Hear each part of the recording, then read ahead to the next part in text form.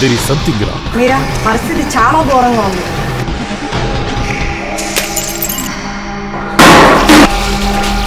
ఎందుకు? ఎందుకు ఇలా చేస్తున్నావు?